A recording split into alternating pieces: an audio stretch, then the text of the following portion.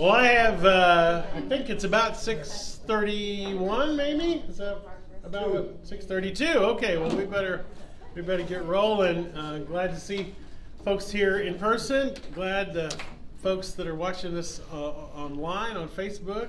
Welcome to you guys. And uh, we are going to continue to work our way through or read our way through Paul's two letters to the church at Corinth, the first and second Corinthians. And, and last week, if you just remember, we uh, we looked at chapter seven and eight. Seven is uh, where Paul gave his opinion about marriage, which was not, as we said, maybe a ringing endorsement.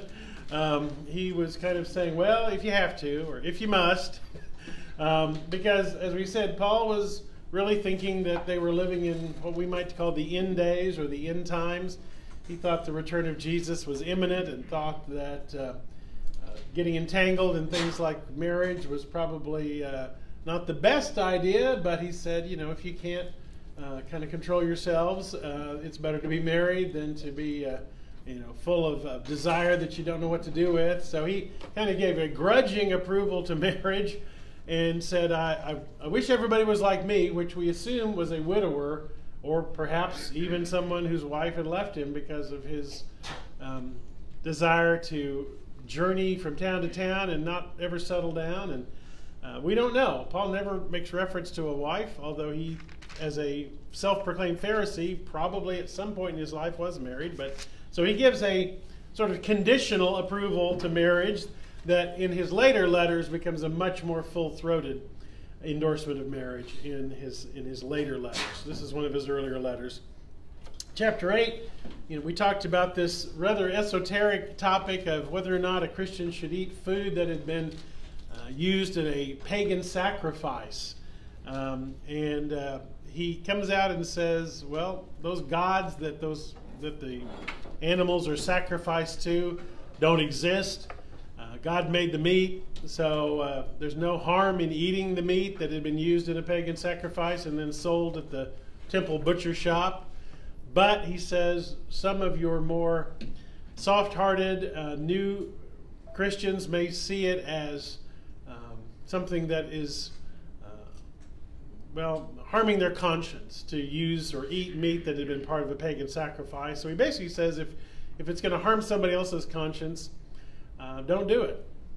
He kind of ends by saying uh, that last verse of chapter 8, uh, well, last two verses in 8, 12, and 13, when you sin against your brothers in this way and wound their weak conscience, you sin against Christ. Therefore, if what I eat causes my brother to fall into sin, I'll never eat meat again, so that I will not cause him to fall.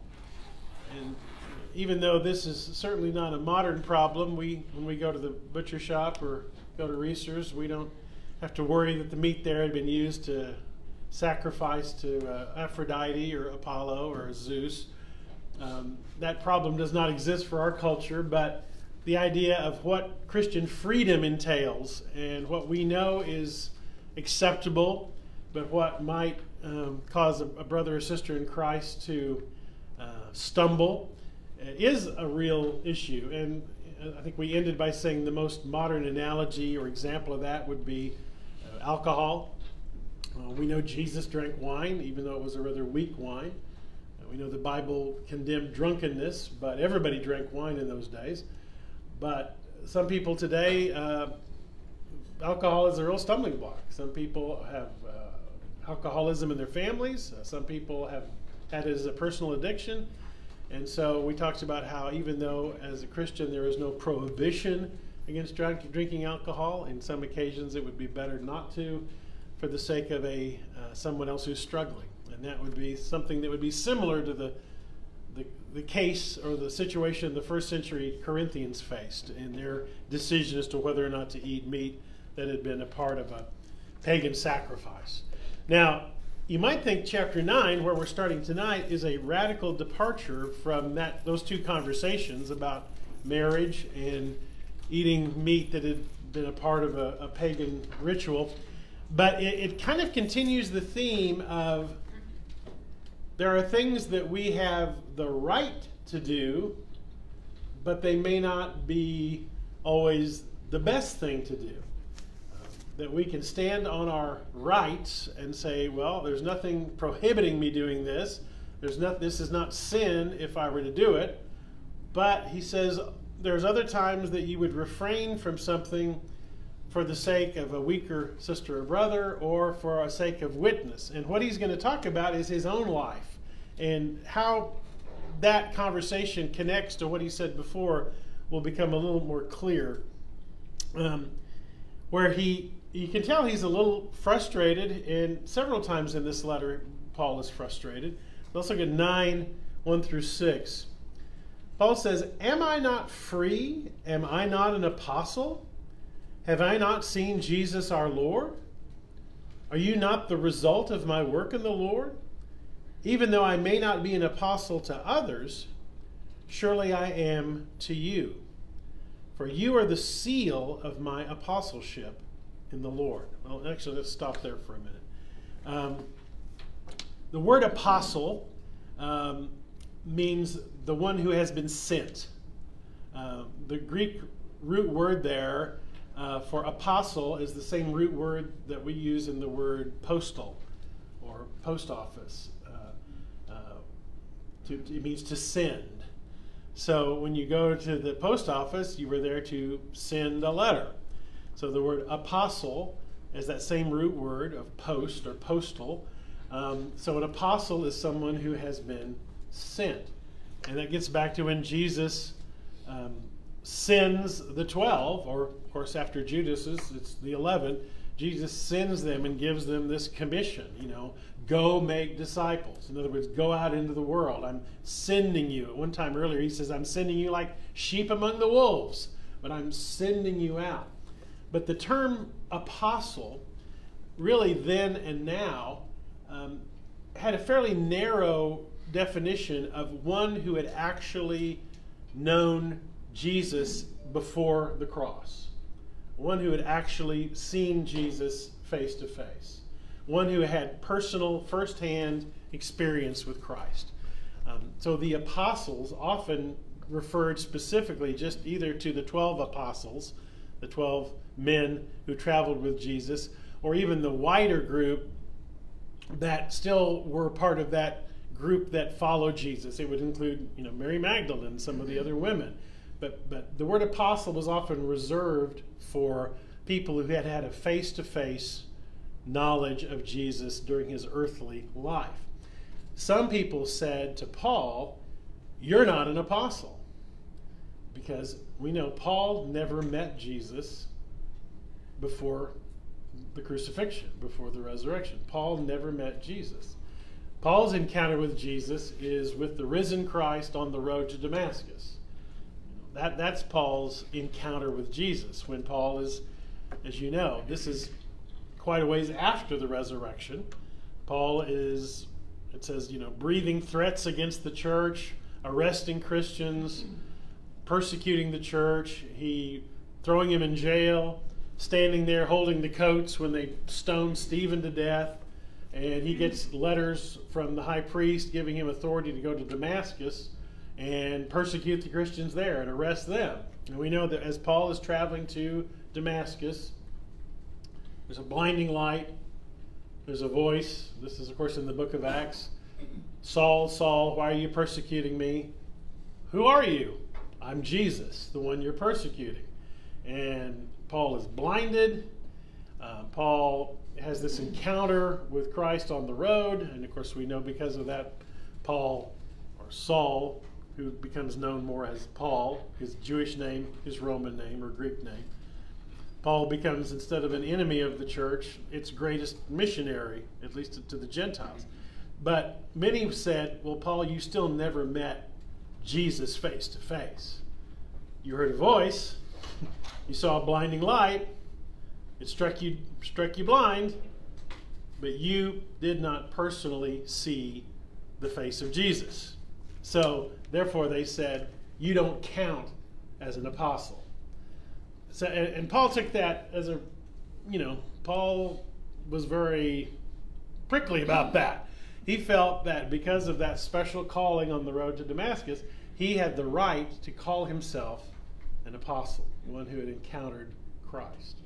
Um, that word apostle, I, I, remember being at one time years ago um, in line at, I can't remember, Six Flags, I think maybe it was, and you know, with a youth group. And I think it was when I was a youth director actually in California. And, and you're in line with the youth group, and there was a different youth group from a non denominational church in front of us. And you know, you're in the line, the little cattle line back and forth and you start talking with somebody who's from another place. Oh, we're also a church group. And I was like, yeah, I'm, you know, I'm a seminary student. I'm going to be a, a, pastor. And a woman from the other church said, oh, well, our pastor is an apostle. He's an apostle. And I remember thinking even then, well, is that? I'm not sure. I'm not sure that's the right term, you know, because the term apostle has traditionally been reserved for those who walked with Jesus in the first century. Um, and so, you know, some people today might still use that name apostle. And uh, because a, a, the word apostle and the word disciple are not interchangeable, although they often are used interchangeably, just because an, an apostle is literally one who's been sent. Disciple, of course, comes from the same root word as discipline. Um, somebody who is really a student under a master, under a teacher. Um, but we kind of use those words disciple, apostle, but we, we would call ourselves disciples. I, I would be hesitant for us to call ourselves apostles. Um, even though, as a United Methodist pastor, I am sent.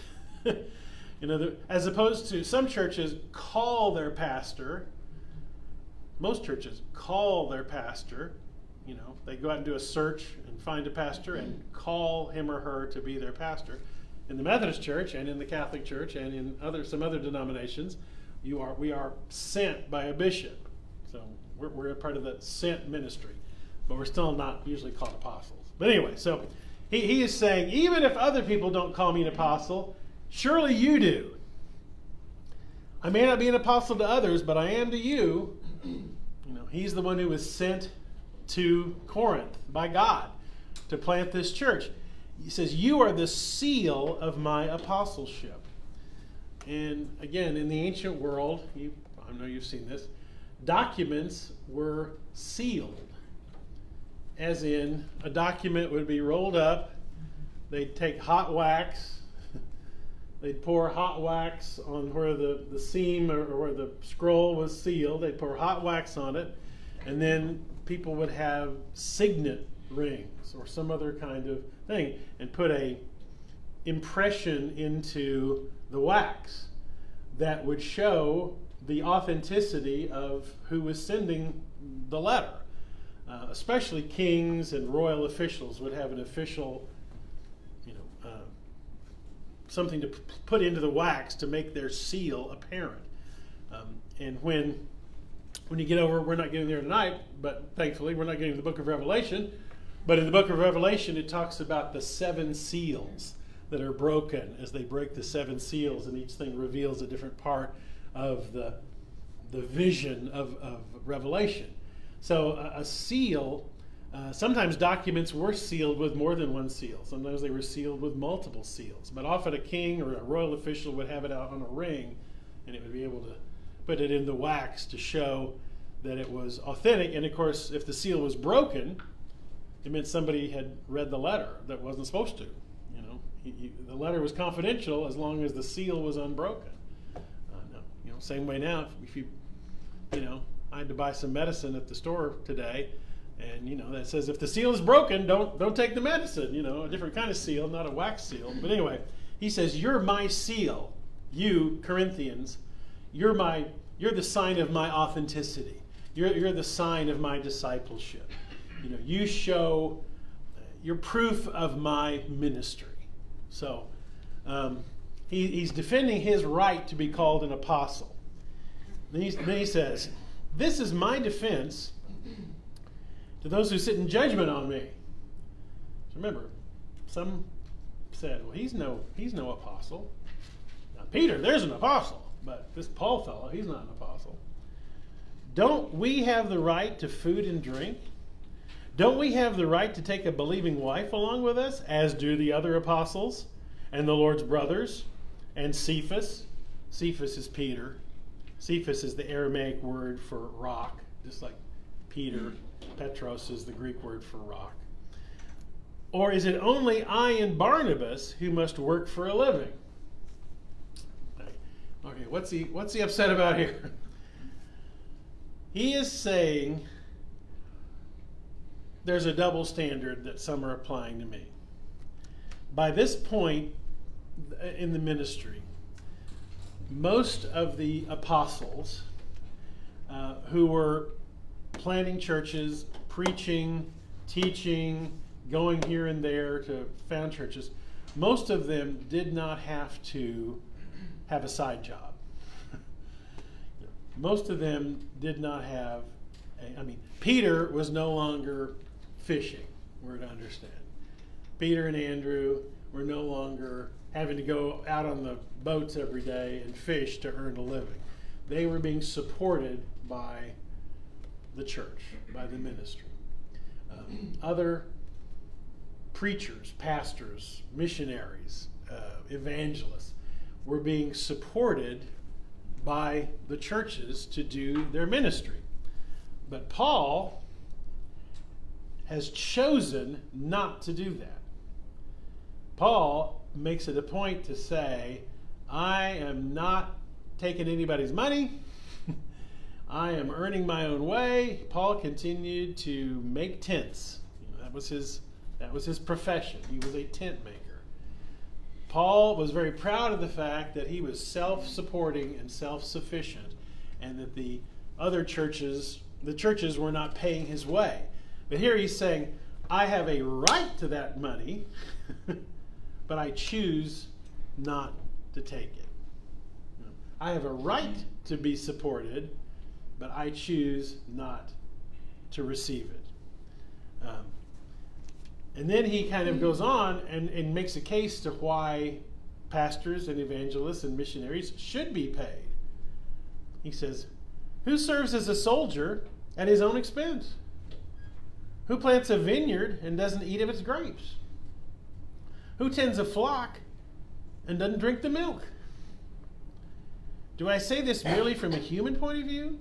Doesn't the law say the same thing? It's written in the law of Moses don't muzzle an ox while it's treading out the grain.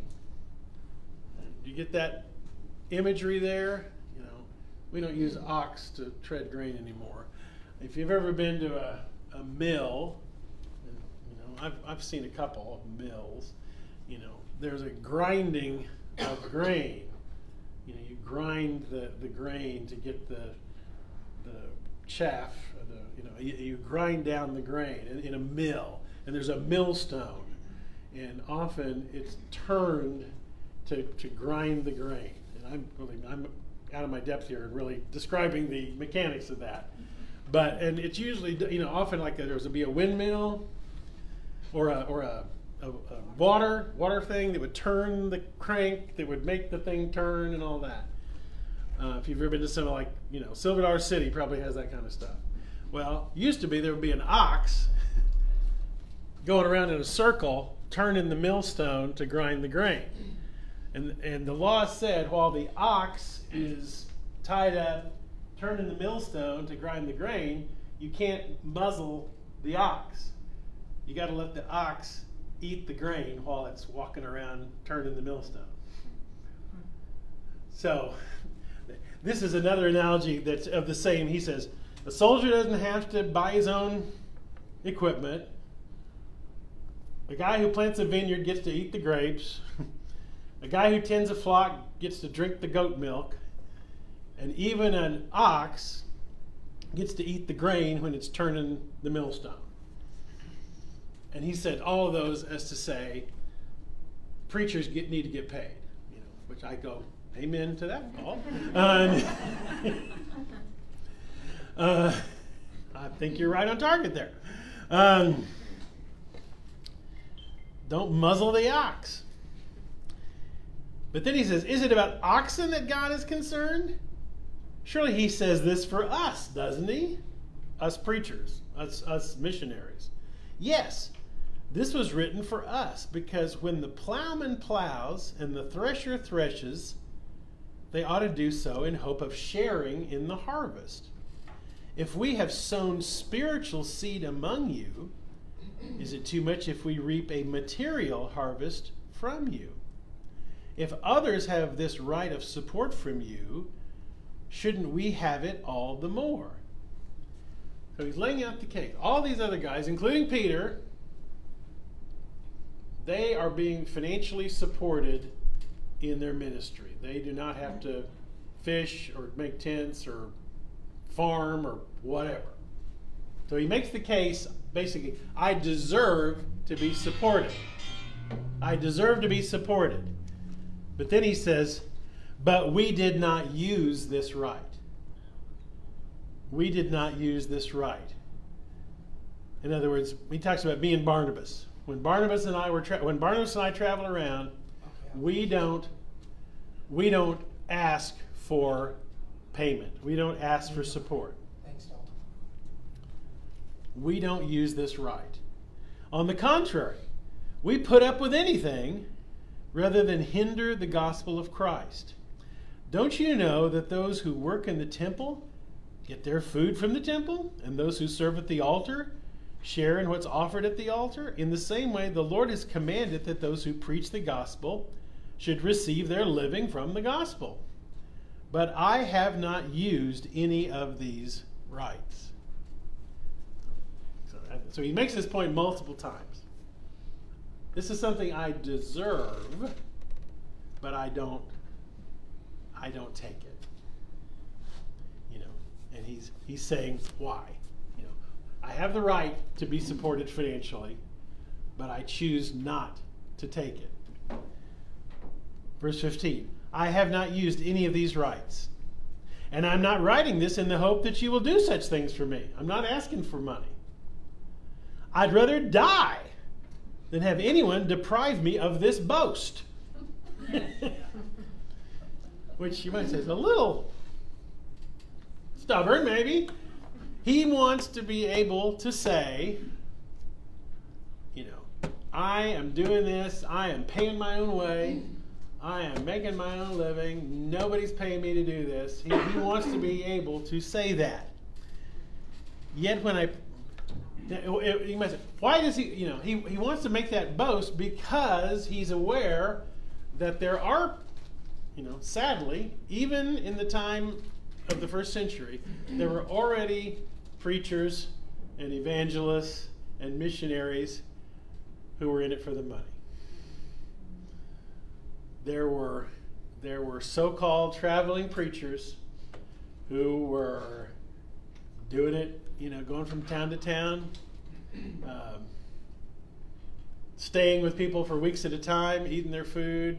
Um, you know, I mean, there were cheaters and swindlers and con men and and fake, you know, the the the TV evangelist is uh, is a modern phenomenon, but the heart of that of people using the gospel uh, as a as a means to to you know, to grow wealthy and to uh, use it as a as a con is not new. It was happening in the time of Paul. It's happened every time since, you know. And, you know, that's one of the reasons I get so exercised about some of those guys who say, well, of course I have to have a $9 million jet, you know, um, to be able to spread the gospel. Private, of course I have to travel in a private jet. You know, of course I have to have this, you know, 20 bedroom mansion. Of course I have to have a fleet of of uh, Rolls Royces, and on and on and on and on. And that's why, could start really going off here, but that's why the prosperity gospel is such a sham. You know, this idea that if you're a faithful Christian, God wants you to be wealthy, financially wealthy. And that the way you get that wealth is to send it to me, you know. you send your money to me, and then God will send you wealth. Uh, the, the message of the evangelist, the TV evangelist, not all of them, of course, but far too many of the TV evangelists, especially of the scandals, is send me your seed faith money, send me your whatever, send me your your you know, pledge, and uh, then, you know, God will bless you financially. And, and if you've ever listened to those guys for more than 10 minutes, or, or and thankfully they're, I mean, you can, they're still on cable somewhere. Most of them are not that prevalent as they used to be, but some of them are, and you know, and they're terrible. And it's it's often it falls into almost voodoo. I mean, you know, you send this money and we'll send you this tchotchke, this little, you know, I one time just out of curiosity, I, I got on the mailing list of one of these guys just to see what kind of scam they were running, and it was like, send me three hundred and twenty-seven dollars. You know, it was, it was not, it wasn't even even amount. And if you send me three hundred twenty-seven dollars, I'll send you this picture, and you put it under your pillow for seven days and seven nights, and all your bills will disappear. all your debt will be canceled. You know, was what was in the letter. Like, if you send me this money, all your debts will go away. And that's, I mean, that's the kind. And so that's that. That's modern. But here he's Paul doesn't want anyone to be able to accuse him of doing this for the money. So he wants to be able to boast, nobody is paying me. Even though he says I have a right to it, he's not going to take it. Um, uh, I have not used any of those rights. Verse 15. I haven't used any of those rights. I'm not writing this in the hope that you'll do such things for me. I'd rather die than have anyone deprive me of this boast. Yet when I preach the gospel, I can't boast, for I'm compelled to preach. Woe to me if I don't preach the gospel. If I preach voluntarily, I have a reward. If not voluntarily, I am simply discharging the trust committed to me. What then is my reward? Just this that in preaching the gospel, I may offer it free of charge, and so not make use of my rights in preaching it. So you see how this connects back to the previous chapter, although at first it's not obvious. He says, You have the right to eat that meat. There's not nothing sinful about eating the meat. It's just meat. Apollo doesn't exist, Zeus doesn't exist, Aphrodite doesn't exist. You can eat the meat, but if you do it in front of certain people, it may wound their conscience. He says, There's nothing wrong with getting paid for being in ministry, but lest anybody criticize me and, and assign false motives to me, I'm going to do it for free so that no one can question my motives, so that nobody can say I'm in it for the money. So, um, and he says, you know, he's doing this because he is com- compelled to do it. You know, God, God is making him do this. I mean, he, he, the, the, we talk about a call to ministry in which I feel like I had, you know, um, well, I'm in I'm in my 37th year of ordained ministry, but I went to seminary in '83, but I felt the call a couple years before that. So anyway, and I and anytime I talk to a young person or somebody else about feeling, well, what about me going into ministry? You know, the advice is, well, unless you feel a call, you better not do it. you, you have to have that, a call from God because if you go into it just like, oh, that's a pretty good job, I think I'll try that, you're, you're going to be miserable. You have to have a, a call. Um, 19.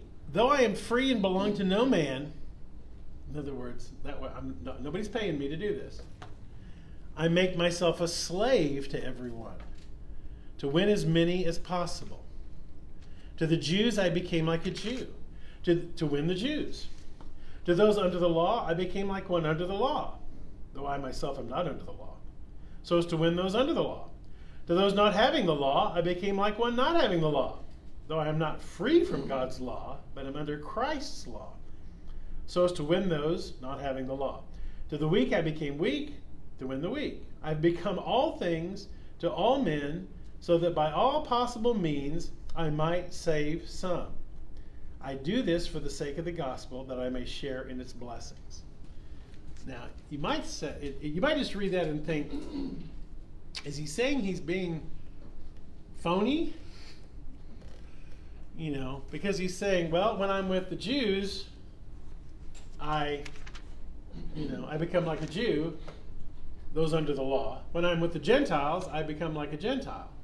Um, and, and, you know, in other words, I depending on my audience, uh, I, you know, I act differently. So you may say, well, is he saying he's a hypocrite? Is he is he two faced? Is he is he a phony baloney? No, he's not saying that. He, he's saying, I, you know, again going back to meat. If I'm with a group of people who go, yeah, just meat, that, that doesn't matter.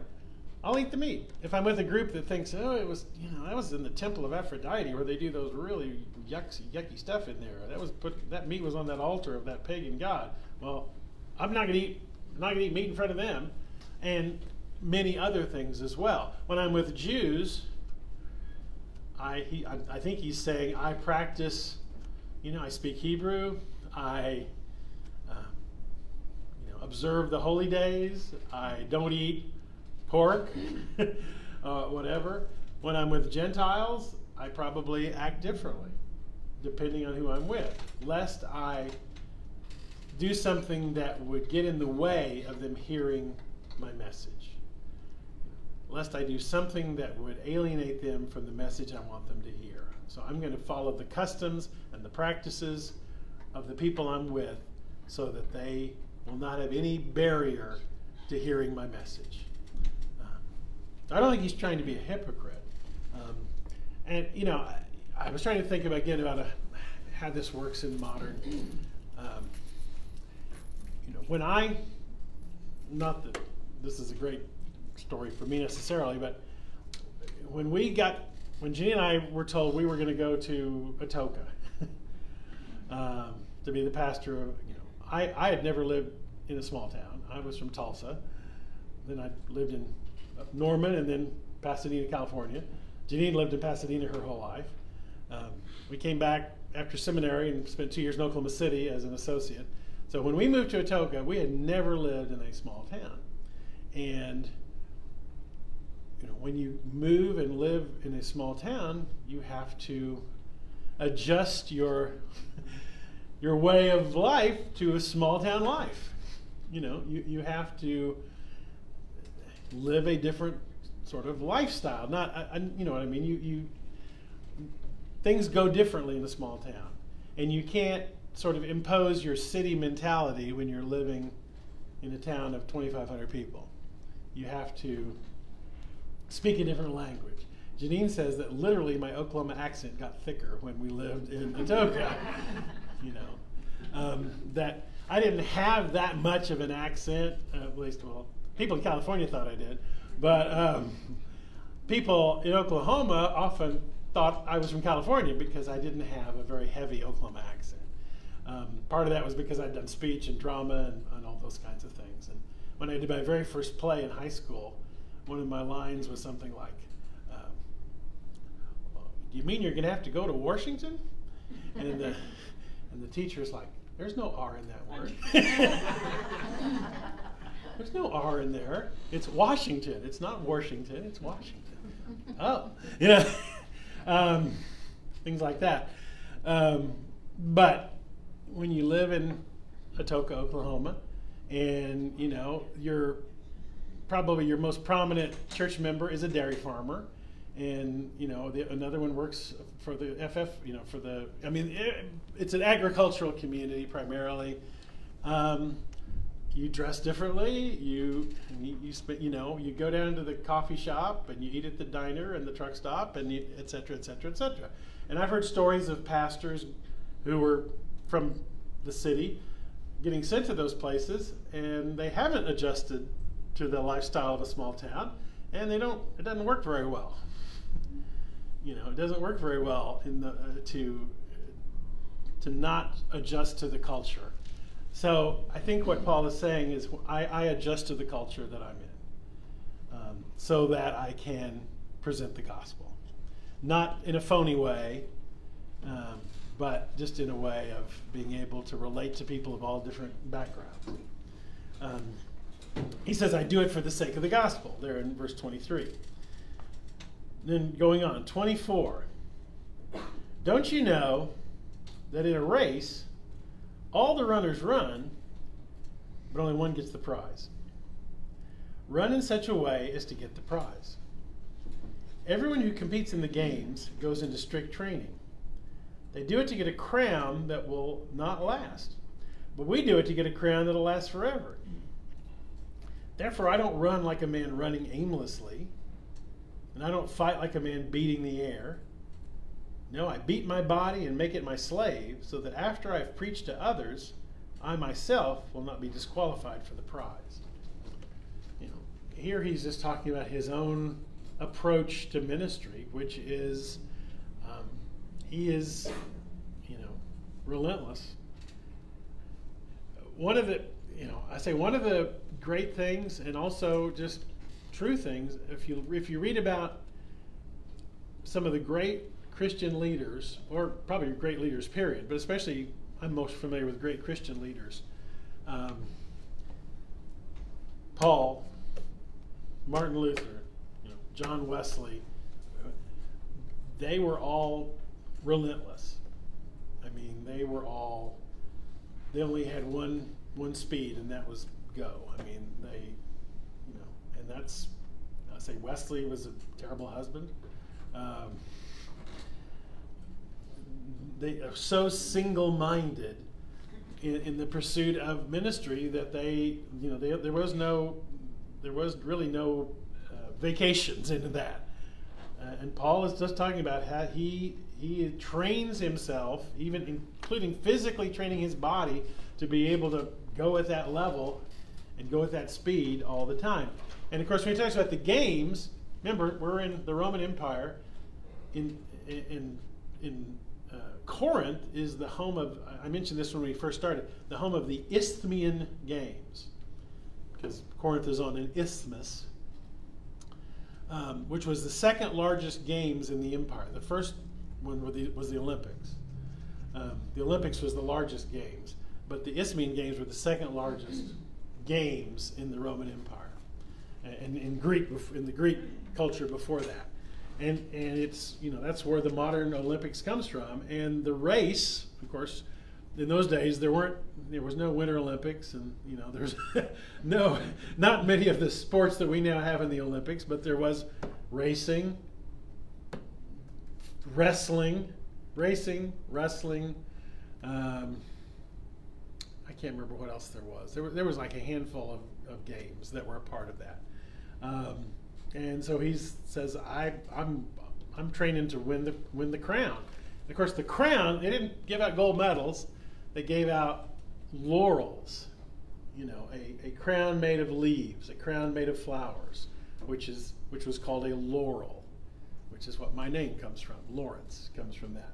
Um, and so you would win, if you won the race, they would put a crown of, of leaves on your head.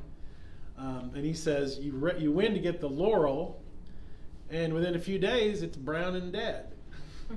You know, it's not like a gold medal. It's it's it's it dies. He says you're running for a crown that doesn't last. But in the Christian life, we're running for a for something that does last. The, the crown of, of, of glory, the crown that um, you know. If you go again to the book of Revelation, it talks about you know the crown. We cast our crowns before the throne of, of, of Christ. So Paul is a, as I've said before, when, when God gets a hold of Paul, he changes his direction 180 degrees from persecutor of the church to missionary for the church. But his personality change is pretty much the same personality. When he when he was persecuting the church, he was going 100 miles an hour, and once he becomes uh, an apostle of the church, he still is going 100 miles an hour. It's just he's going in the opposite direction. But his personality of relentlessness is is the same, which you might say, well, that's why God picked him to to do what he what he did. So that's that's chapter nine. Now, chapter ten again. Um, he's still on this idea of freedom versus responsibility because this is something that the early church really was struggling with, and especially, obviously, they were struggling with in Corinth. And, and, you know, in a lot of modern Christianity, it's still a struggle to get to find the right balance in this message. We are saved not by our works, we're saved by grace. But if you only say that, some people think, okay, well, then it doesn't matter what I do. Since I'm saved by grace and not by my works, I can do anything I want. I, can, I don't have to follow any rules, you know. And, and of course, Paul is fighting against that. the idea that, that, that grace gives you a free ride to do and do anything you want. Because it's not, you're not saved by your deeds, you're saved by the grace of God the opposite of that is people who, you know, what Martin Luther would call works righteousness, what, what Luther and the whole Protestant Reformation was about, emphasizing that we're not saved by our works, we're saved by grace. But people, you know, the Pharisees believed that you were, they were saved by their works. And there's plenty of Christian Pharisees today. You know, we talked I mean, we talked last week when we were talking about the whole meat and idols. I mean, there have always been Christian Pharisees who say, "What's Christianity? What it? Well, Christianity means you don't drink, you don't smoke, you don't go to movies, you don't play cards, you don't dance, you don't da da da da da da da." They reduce Christianity to a series of do's and don'ts, which is works. That's not grace. That's reducing Christianity to a list of rules, and that's not Christianity and that, that's the Pharisees. That's and you know, there's unfortunately plenty of churches that have a very Pharisaic approach to Christianity. Um, so Paul is always saying, just because you have the the freedom doesn't mean that it's good for you. just because you have the freedom doesn't mean that you should do it because it's harmful to yourself or to others. So that's what chapter 10 is about. He says, I don't want you to be ignorant, brothers. I don't want you to be ignorant of the fact, brothers, that our forefathers were all under the cloud, and they all passed through the sea. Okay, now who's he talking about here? Yeah, he's talking about the children of Israel and who, who came out of slavery, came out of bondage in Egypt. He's going to go back and use a lot of examples from that. You know, I don't want you to be ignorant. Think about our forefathers. They passed through the sea. They were all baptized into Moses in the cloud and in the sea. They all ate the same spiritual food and drank the same spiritual drink, for they drank from the spiritual rock that accompanied them, and that rock was Christ. Now, if you remember when we talk about drinking from the rock, go back to Numbers 20 for a minute in the Old Testament Genesis, Exodus, Leviticus, Numbers. Numbers 20 you remember this part of the story of Moses in the wilderness and the children of Israel. Um, um, they're, you know, they're wandering in the desert. Numbers 20, verse 2. Now there was no water for the community because they are in a desert. Okay. There was no water for the community, and the people gathered in opposition to Moses and Aaron.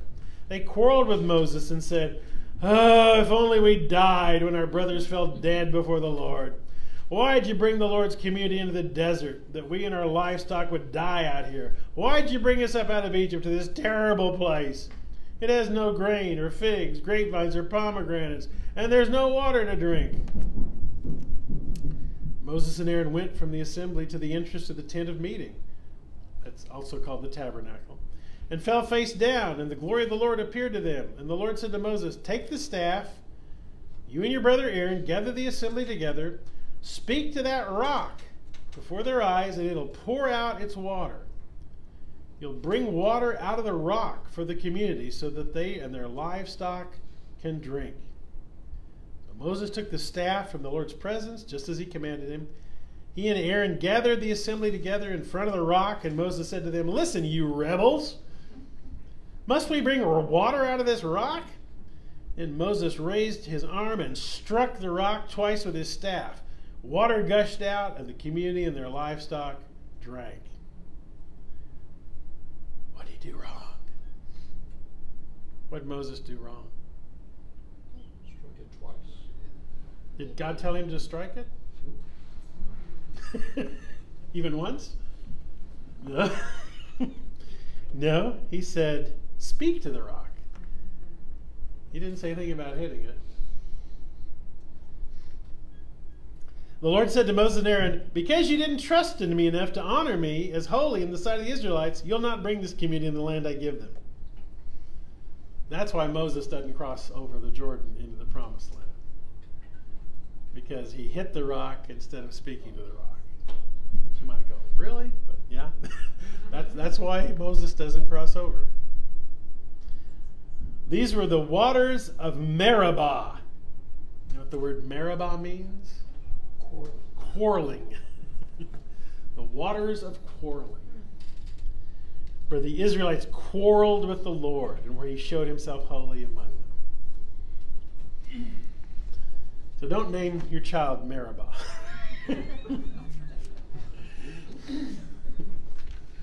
so he's he, he's saying, but Paul is saying, remember the Israelites. I mean, he says, think about think about the Israelites for a minute, and some of this is kind of um, unsaid. Think about the Israelites.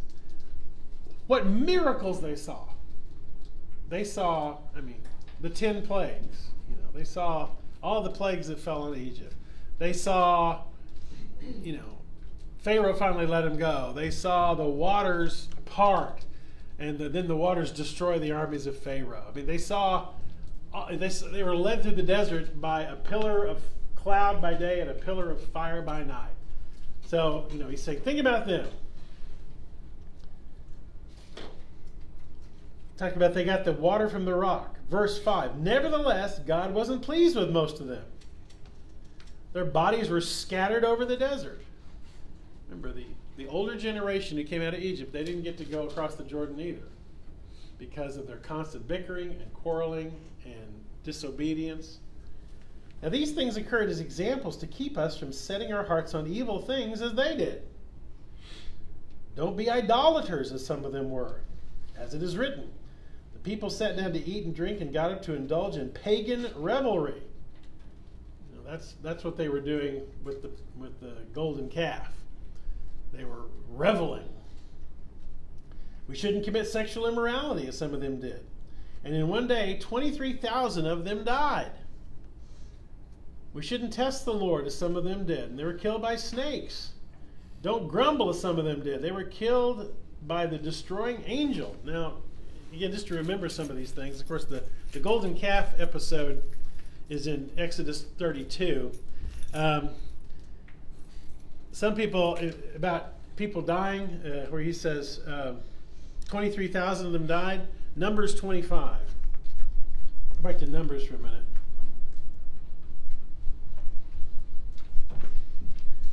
Numbers 25.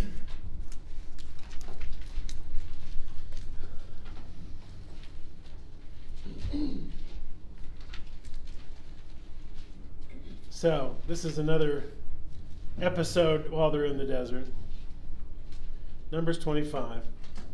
While Israel was staying in Shittim, the men began to indulge in sexual immorality with Moabite women, who invited them to the sacrifices to their gods. The people ate and bowed down before these gods. So Israel joined in worshiping the Baal or the Baal of Peor, and the Lord's anger burned against them. And the Lord said to Moses, Take all the leaders of these people, kill them, and expose them in broad daylight before the Lord, so that the Lord's fierce anger may turn away from Israel. And Moses said to Israel's judges, Each of you must put to death those of your men who have joined in worshiping the Baal of Peor. Then an Israelite man brought to his family a Midianite woman right before the eyes of Moses and the whole assembly of Israel while they were weeping at the entrance of the tent of meeting. When Phinehas, son of Eleazar, the son of Aaron, the priest, saw this, he left the assembly, took a spear in his hand, and followed the Israelite into the tent, drove the spear through both of them, through the Israelite and into the woman. Then the plague against the Israelites was stopped, but those who died in the plague numbered 24,000. Which, any nitpickers? Nitpickers here? What's what's nitpicking? 23,000. Yeah, Paul said 23,000. Number says it was 24,000. Paul is probably writing from memory. you know, easy access to the scrolls like the scroll of numbers was not something that he carried around with him. He didn't have he didn't have a pocket Old Testament with him. He didn't have the Bible app on his iPhone. Um, you know, so he's probably from memory saying they killed twenty three thousand. Well, actually, Paul was twenty four thousand, but um, you know that's the kind of thing that if we are understanding Paul writing these letters really shouldn't bother us if somebody is believing that every word is a dictation of God, then it's a problem. Um, that there's a discrepancy there. Um, so he says, and they killed them and uh, the snakes. Remember the snakes? Let's look up the snakes just before we move on. The serpents is Numbers 21. Numbers has a lot of they, they had a lot of problems in Numbers. Um, Numbers 21. Um,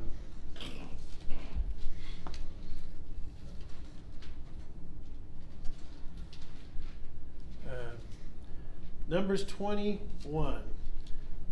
They traveled, this is still the Israel, they traveled from Mount Hor along the route to the Dead Sea to go around Edom, but the people grew impatient on the way. They spoke against God and against Moses and said, Why have you brought us out of Egypt to die in the desert? There's no bread, there's no water, and we detest this miserable food. I assume they were talking about the manna. So then the Lord sent venomous snakes among them. They bit the people, and many Israelites died.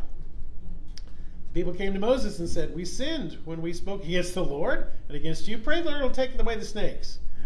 So Moses prayed for the people. And the Lord said to Moses, Make a snake and put it on a pole. Anyone who's bitten can look at it and live. Moses made a bronze snake and put it on a pole. Then, when anyone was bitten by the snake and looked at the bronze snake, he lived.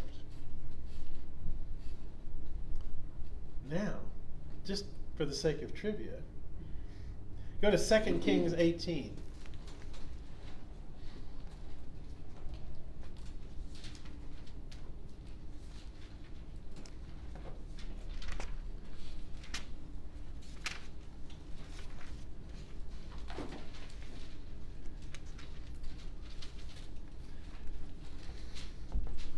This is hundreds of years later, of course. Hundreds of years later in 2 Kings. 2 Kings 18. In the third year of Hoshea, son of Elah, king of Israel, Hezekiah, son of Ahaz, king of Judah, began to reign. He was 25 years old when he became king, and he reigned in Jerusalem for 29 years. His mother's name was Abijah, daughter of Zechariah. He did what was right in the eyes of the Lord, just as his father David had done. He removed the high places, this is places for pagan worship, smashed the sacred stones, and cut down the Asherah poles, those are all fertility gods. He broke into pieces the bronze snake Moses had made. For up to that time, the Israelites had been burning incense to it. So, across the centuries, the snake that was used to cure the snake bites back in the time of Moses had become, guess what? An idol. and had to be smashed. Is this where the doctor's serpents uh, cross uh, comes from? I, I actually think it comes from a Greek. Um, I've looked. At, I, I used to think it. Surely it came from that. I think it actually. Any nurses or doctors here? The, the the symbol that we're talking about with the snake for healing. Hermes. Is it on Hermes' staff? Yeah, I think it goes into Greek mythology instead of this. I think, but I wouldn't swear to it. But um, anyway, so Paul, why is Paul bringing all this up? He's saying, think about you know the Israelites. They they'd seen the miracles of God. and still, all these times they grumbled, they disobeyed, they worshipped false idols, they you know, they kept doing all these things that they shouldn't have done. Verse 11, these things happened to them as examples and were written down as warnings for us, on whom the fulfillment of the ages has come. So, if you think you're standing firm, be careful that you don't fall. In other words, remember the, the Corinthians, Paul felt had uh, had a puffed up idea of their own spirituality. They, you know, we've we've got it all done, we got it all figured out. You know, we're we're pretty spiritually mature now. He's like, basically, be careful. You know, be careful that you don't trip up and fall. Um, no temptation has seized you except what is common to man. God is faithful. He won't let you be tempted beyond what you can bear. But when you're tempted, He'll also provide a way out so that you can stand up under it. He's just, you know, these are new Christians. These are first generation Christians who came out of paganism. And some of them came out of Judaism, but a lot of them came out of paganism. And, and they've become very puffed up. They have become uh, divided into subgroups, you know. we follow Paul, we follow Peter, well, we follow Apollos. Remember, they have these divisions. He's like, watch yourself. Just, just watch yourself. Verse 14. Therefore, my dear friends, flee from idolatry. I speak to sensible people. Judge for yourself what I say. Is not the cup of thanksgiving for which we give thanks a participation in the blood of Christ? And is not the bread that we break a participation in the body of Christ? Because there's one loaf, we who are many are one body, for we all partake of the one loaf. This is actually part of the communion liturgy. Consider the people of Israel. Do not those who eat the sacrifices participate in the altar? Do I mean then that a sacrifice offered to an idol is anything? Or that an idol is anything? No, no. But the sacrifices of pagans are offered to demons, not to God. I don't want you to be participants with demons. You can't drink the cup of the Lord and the cup of demons too. You can't have a part in both in the Lord's table and the table of demons. Are we trying to arouse the Lord's jealousy? Are we stronger than He? He's just saying, be careful about, you know, He's already said the meat is just, you can eat the meat, but just don't get too puffed up about this. Don't get too reckless about getting too involved with these pagan temples and, and getting too close to, to what your former life. And then he's going to go on. And I say, remember, this whole conversation is about what is what is permissible and what is wise. what, what you can do and what you should do. what you are allowed to do in freedom, but what is the better choice. That's why here he, he's quoting at the beginning of verse 23, 1023. Everything is permissible. That's in my Bible, that's in quotes, as if he's quoting a, a phrase. Everything's permissible, but not everything's beneficial. Everything's permissible, again in quotes, but not everything is constructive. Nobody should seek his own good, but the good of others. Eat anything sold in the meat market without raising questions of conscience, for the earth is the Lord's and everything in it. He's saying, you know, yes, you have, you're free to eat the meat. and by uh, you know, that has implications for things beyond the meat. There's many things as a Christian we have the freedom to do that the Jews did not do. You know, there is freedom in Christ. He says so we have freedom, but not everything is wise or or or constructive or beneficial. He says if some unbeliever, in other words a pagan, verse 27, if some unbeliever invites you to a meal and you want to go, Eat whatever is put before you without raising questions of conscience. You know, just if they put put the food in front of you, don't say, "Now was this uh, was this actually used in a temple sacrifice? Uh, was this meat sacrificed to Aphrodite?" Uh, don't ask any questions. Just, if, they, if you're eating with a non-believer and they give you a meal, just eat it. Don't don't ask questions. Just eat it. It's kind of, kind of advice they often give to you know, mission teams going to another culture.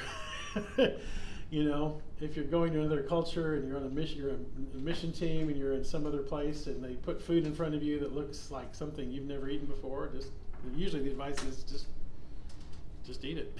you know, don't ask a lot of questions. Just now, of course, sometimes that could cause dietary or uh, in, in, intestinal issues. I realize, but if you don't want to insult your host, if you're the guest of something like in a foreign country, or you're the guest of somebody else, and they put something in front of you, and you're not really sure what it is. I mean, the polite thing is just don't ask questions, just just eat it.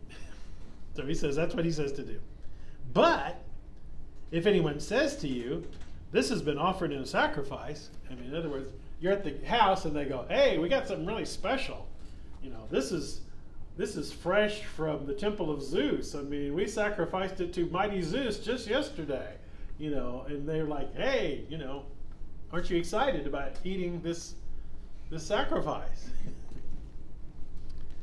he says, if they do that, then don't eat it.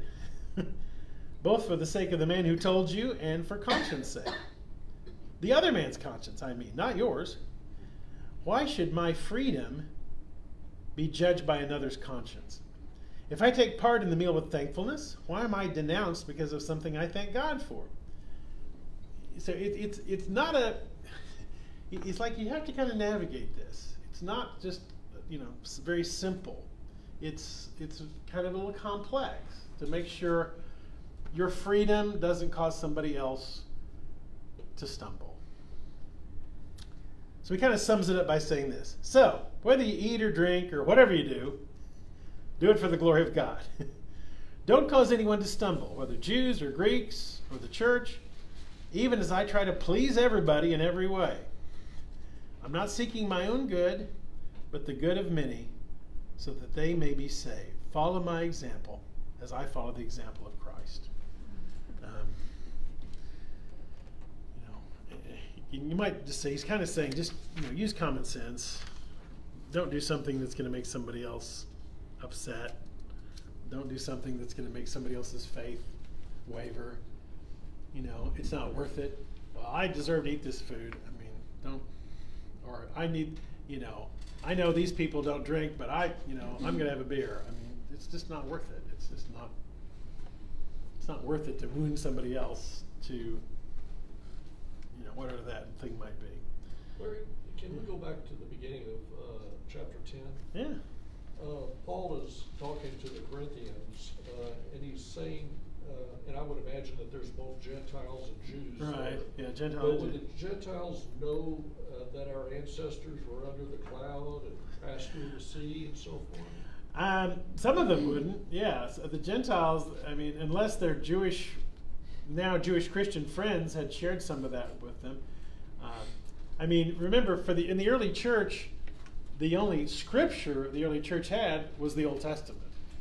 I mean, they would they get letters from people like Paul, but when it came time in the early church for them to read scripture, when they talk about scripture, they're talking about the Old Testament. So probably in these churches they had learned something of that heritage and something about that. Um, you know, the sometimes you see it like sometimes you see like in Luke especially, um, which is written to a more Gentile audience. You'll see Luke when he talks about something Jewish, he'll give you a little explanation of it, or he'll explain you know what it is because he knows his audience doesn't isn't familiar with that.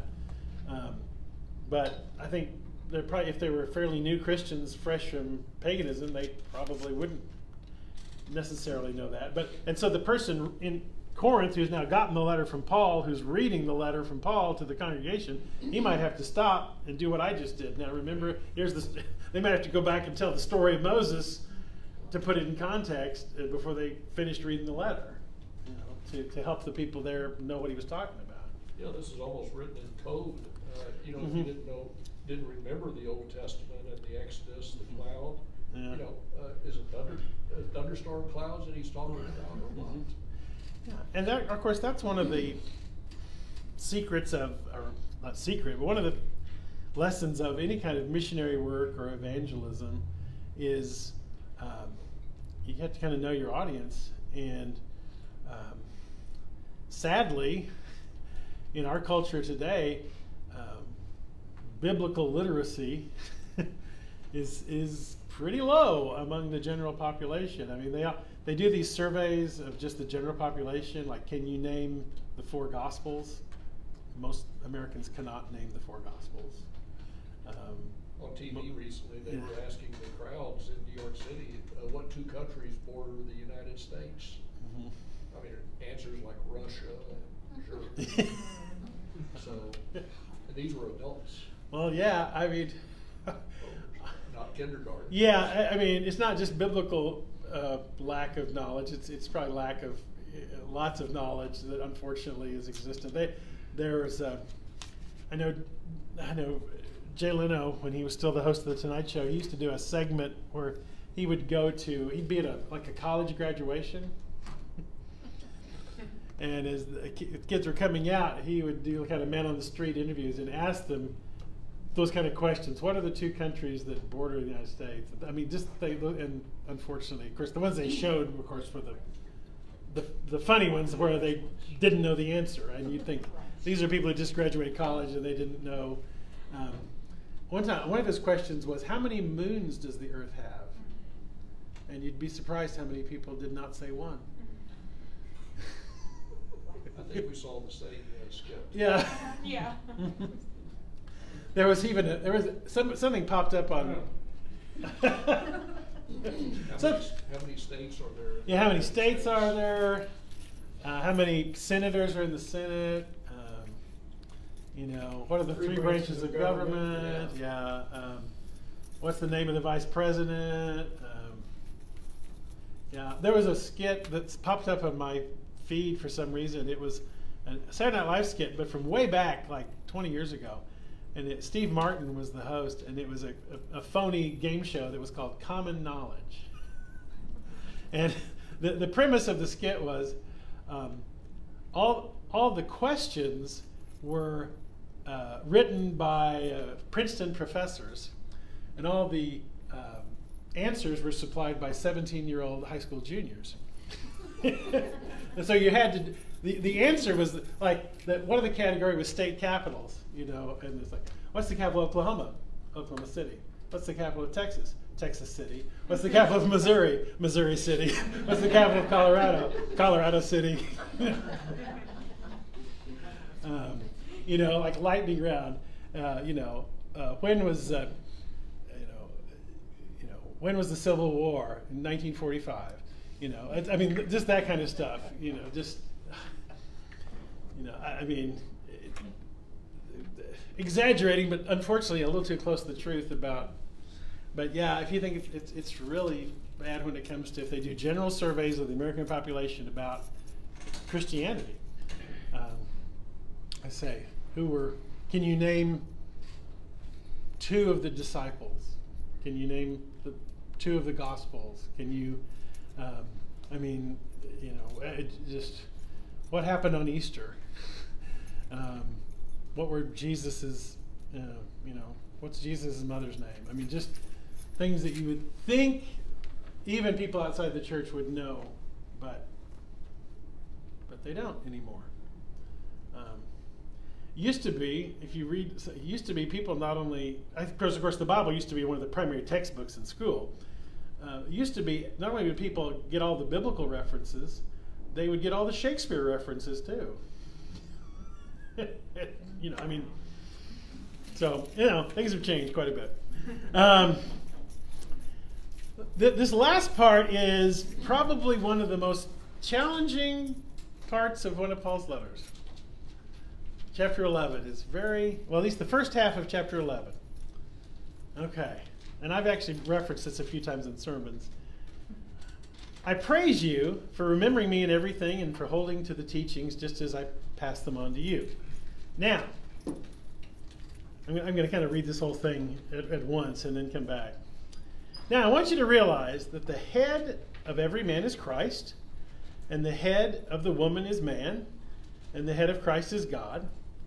Every man who prays or prophesies with his head covered dishonors his head. And every woman who prays or prophesies with her head uncovered dishonors her head. It's just as though her head were shaved. If a woman doesn't cover her head, she should have cut her hair off. And if it's a disgrace for a woman to have her hair cut or shaved off, she should cover her head.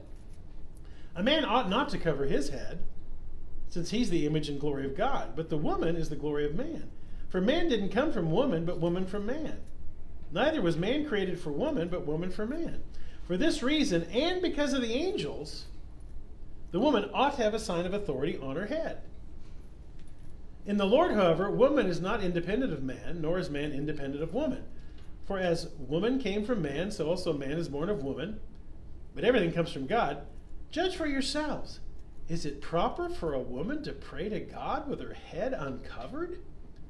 Does not the very nature of things teach you that if a man has long hair, it is a disgrace to him?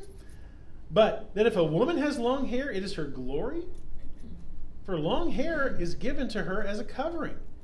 If anyone wants to be contentious about this, we have no other practice, nor do the churches of God. Where shall we start?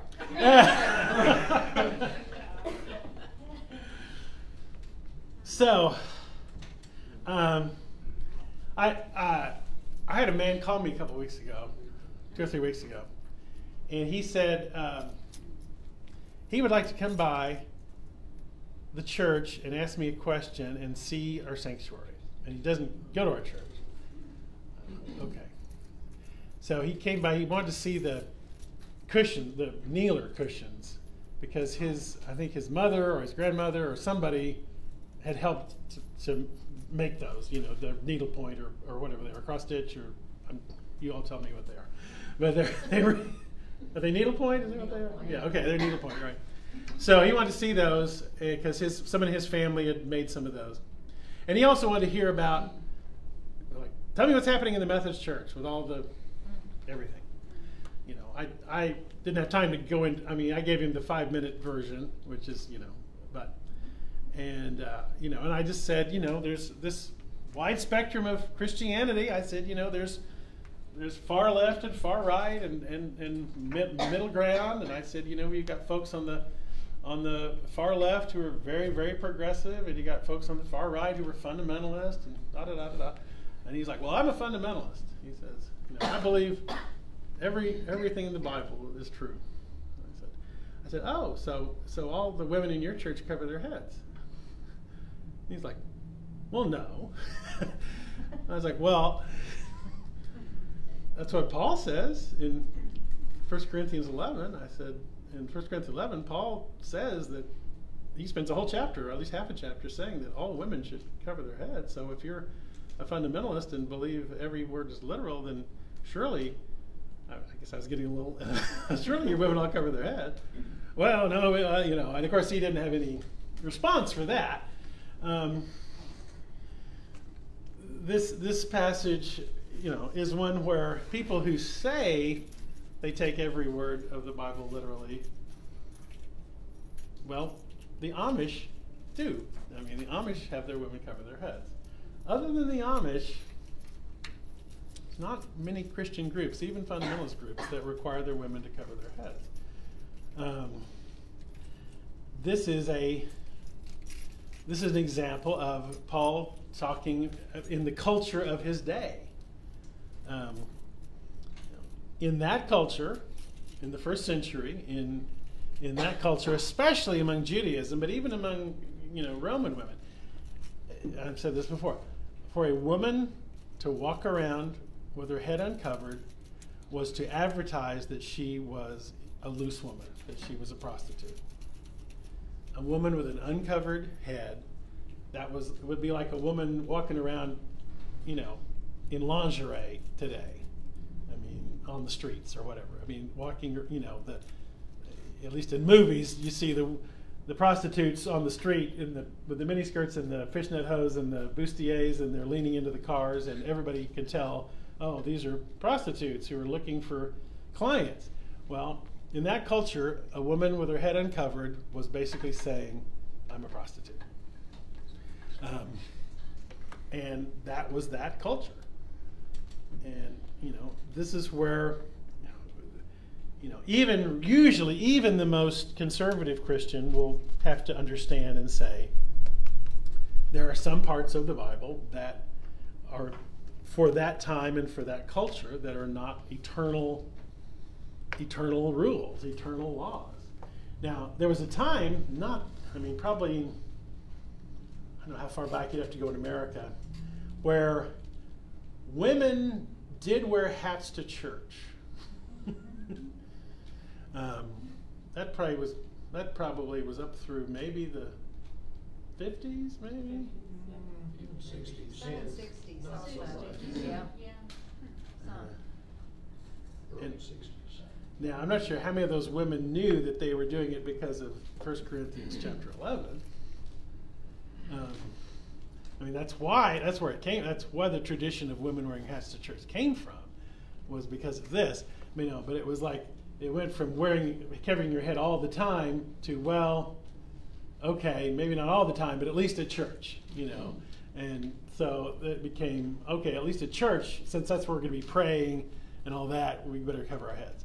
And of course, what do we, men? What do we do when it's time to pray? Take off our hats, right? Did you ever wonder why?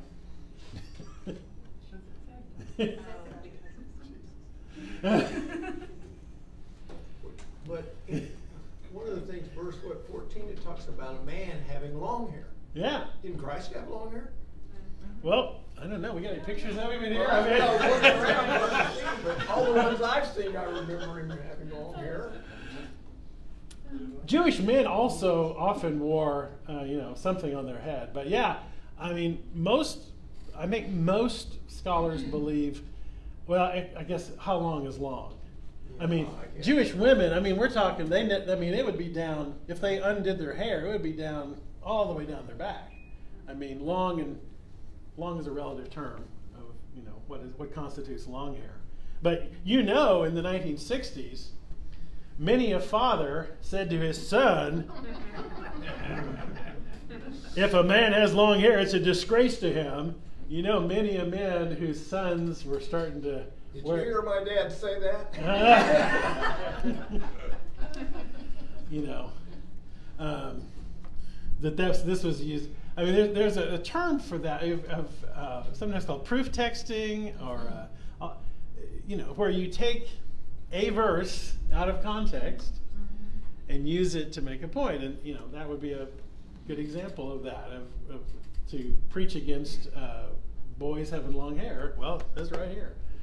Uh, but culturally, and, and if you've been following the news, um, what's happening in Iran Yeah, that's what I- right now? Yeah. In Iran right now, they, they have what they call the morality police, and women must wear the head covering. You know, uh, Tightly. the, the, huh? Tightly. Yeah, the, the hajib in in, uh, because their fundamentalist uh, understanding of, of Islam is that uh, same reason a woman with an uncovered head is, is a is a prostitute is a is a loose woman, uh, and so they enforce the hijab uh, for the women of Iran, and if they're caught outside their home without their head covered, the morality police will arrest them and sometimes beat them. Um, and the young women of Iran are saying, you know, of course, I mean, then the the irony of it, nowhere in the Quran does it say that women have to wear that all the time. So was that a cultural thing of this Yeah, time it, yeah, yeah, it's a culture. But it, you know, it, it, the, the the problem with uh, well, there's a lot of problems with Islam, just as there are with you know problems with our with churches too. But um, it is illegal in Islam to translate the Quran out of um, the original language and out of Arabic. So most Muslims have never actually read the Quran if they don't speak Arabic. And it's illegal to have a translation of it. So they are totally dependent upon a imam or, or some other religious leader telling them what's in the Quran. Much like 500 years ago in Christianity, most people were illiterate. Before the invention of the printing press, most people couldn't read and couldn't read the Bible. And so they were dependent on the priest to tell them what God wanted and what God didn't want. And, you know, and if the priest said, talked about you need to pay to get out of purgatory and da da da, da all these things, the, the common people they couldn't read. They, they, they didn't own a Bible. Um, now, if you want to really get into some sort of really odd little bits of thing here is one of the comments here that he says. Um, um, he says 10, verse 10, 11, 10. For this reason, and because of the angels, the woman ought to have a sign of authority on her head. Now, what does that mean? What do the angels have to do with it? Well, here's what most scholars believe he's referring to here. Go back to Genesis 6.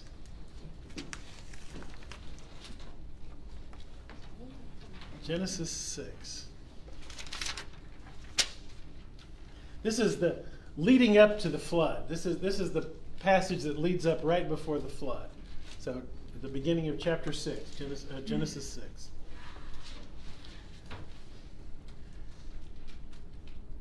When men began to increase in number on the earth, and daughters were born to them, the sons of God saw that the daughters of men were beautiful, and they married any of them they chose. Then the Lord said, My spirit will not contend with man forever, for he is mortal. His days will be a 120 years. The Nephilim were on the earth in those days, and also afterward, when the sons of God went to the daughters of men and had children by them. They were the heroes of old, men of renown.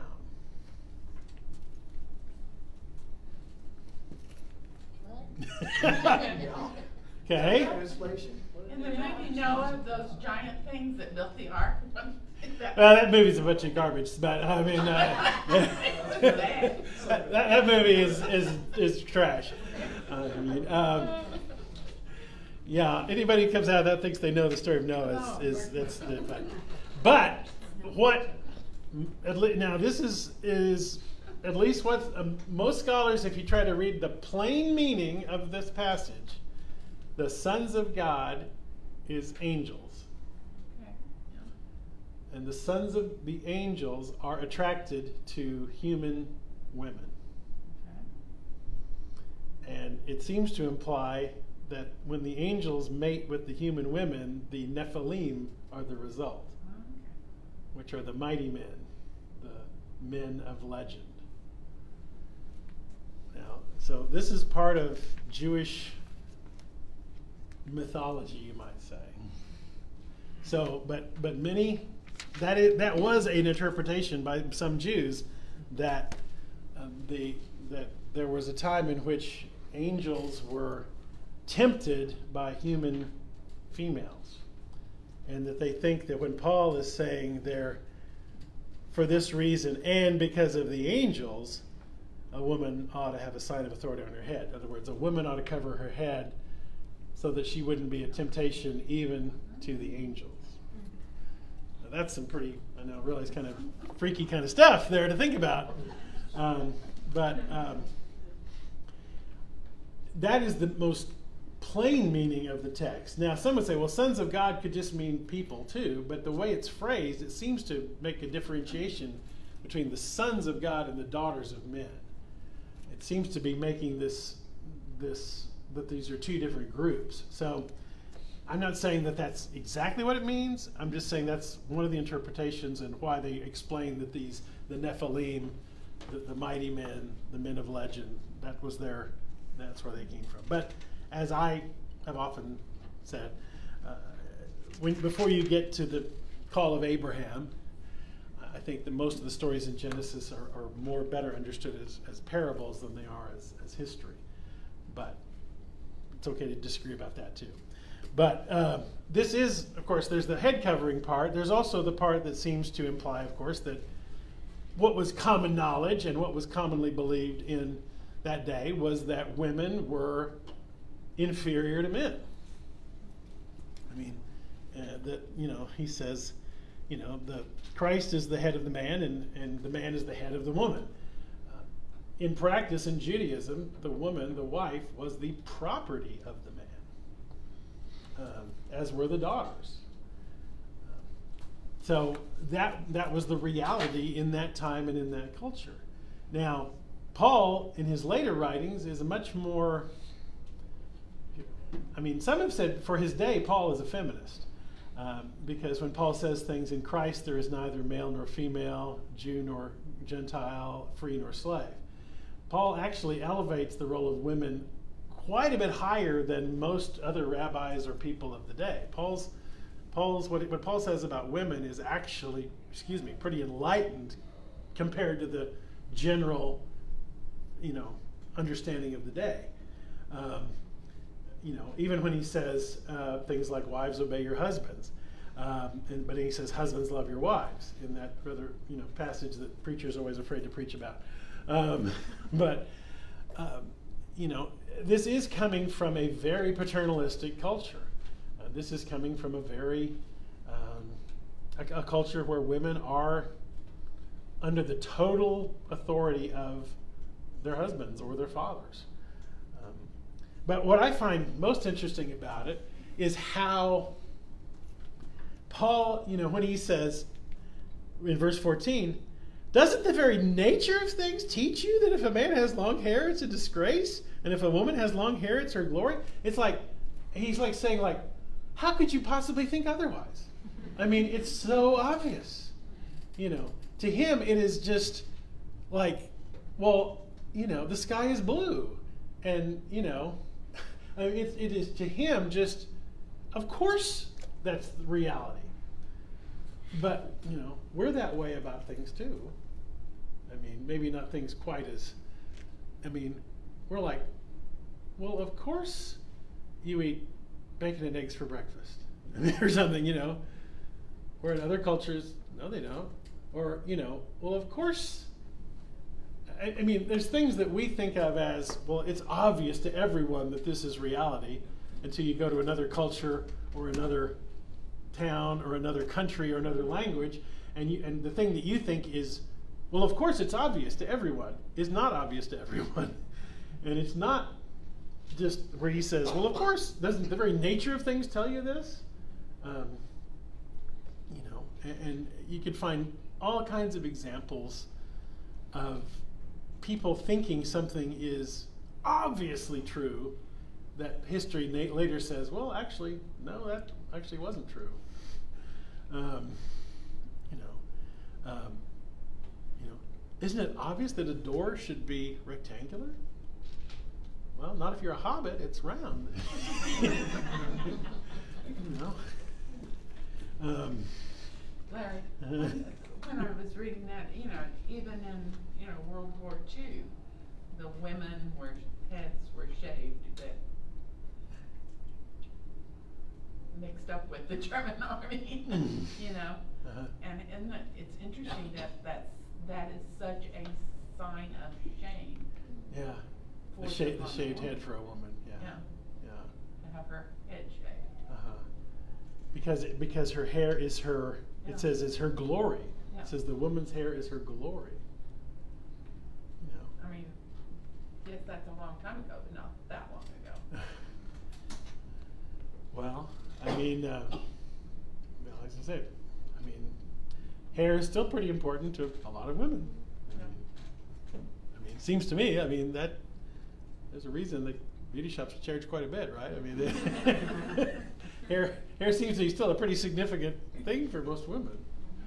Um, and uh, I mean, a very personal thing, and a very, I mean, yeah, I mean, when women have through uh, chemo or whatever, when women lose their hair, I mean, it's a it's a big deal, right? And it's still odd to see a bald woman, you know.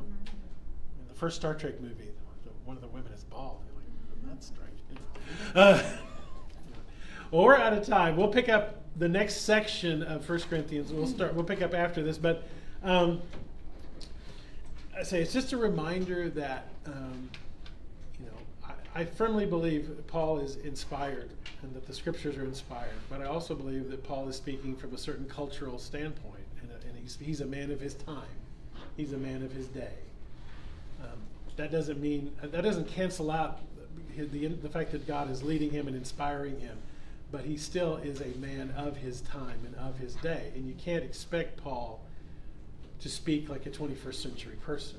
You, you- you can't expect him to have a 21st century understanding. You know, just like somebody in the 31st century would probably think the way we think of it in the 21st century is how could they possibly think that a thousand years ago? Um, you know, if, we can last that long as a, as a species before Jesus comes back.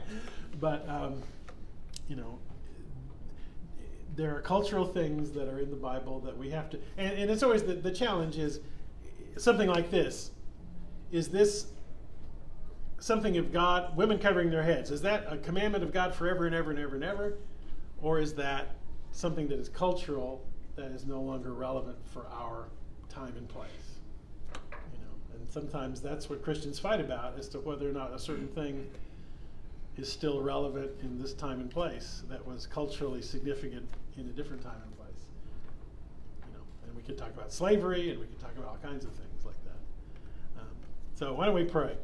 Lord, we are thankful for uh, for Paul for his uh, passion that comes through every page of his letters, his, his desire to put everything aside that might hinder his ability to share Christ. Um, Lord, we want some of that passion. Uh, we thank you that um, that he was um, called and chosen, and that because of him, so many people came to know the Lord. And we thank you that he was able to continue to influence even us today. Um, we thank you for men and women throughout the last 2,000 years who have been passionate about their desire to follow you and to share that good news and help us to be passionate about it as well. Amen. All right. We're not going to meet next week. It's fall break and we don't have all we don't have everything going. So we're going to take next week off, but don't don't don't get don't backslide. Come back in 2 weeks, okay? Come, come back in 2 weeks.